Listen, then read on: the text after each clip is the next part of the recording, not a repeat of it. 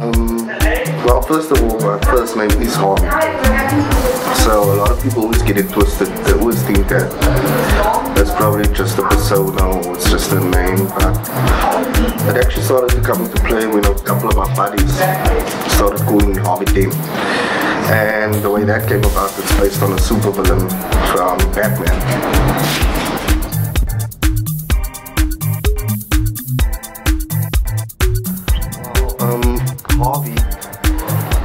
Himself, without the dent, has always been involved with music. I mean, this year, this year, I know I've probably been mixing music for 11 years.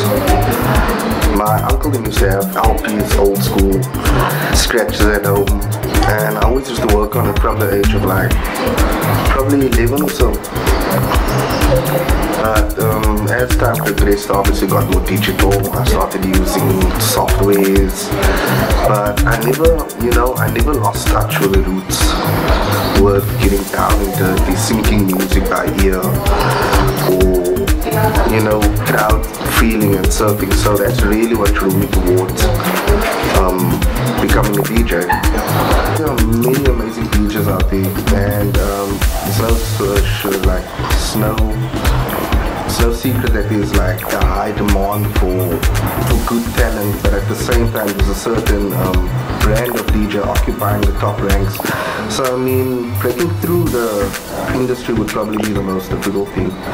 Trying to you know get exposure, get your music across, um, you know, playing at as many gigs as you possibly can, networking as much as you can, you know, and basically showing a lot of support. Takes a lot of time and concentration, but I mean, at the end of the day, it pays off. Um, SelfSaloet, uh, I've probably been involved with SelfSaloet before it was really called SelfSaloet. I've been involved with Self Salute back in the day when we had when we had an alias going not of this world. And I mean, um, naturally, I mean, the progression, uh, SelfSaloet, I would never ever like turn my back on a great like opportunity as such. A bunch of DJs, I mean, trying to break through.